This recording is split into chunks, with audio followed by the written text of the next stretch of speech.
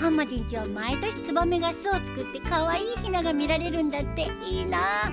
お父さんに頼んで巣の台を作ってもらおうと思ったけど今北海道旅行で1週間いないんだったよ。